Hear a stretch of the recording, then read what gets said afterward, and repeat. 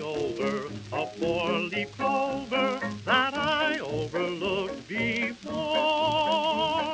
One leaf is sunshine, the second is rain, the third is the roses that grow in the lane. No need explaining the one remaining, it's someone that I Looking over a four-leaf clover that I overlooked before.